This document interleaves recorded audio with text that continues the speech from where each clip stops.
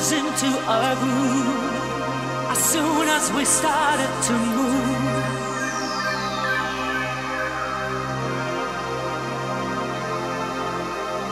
The music played while our bodies displayed through the dance. Then love picked us up.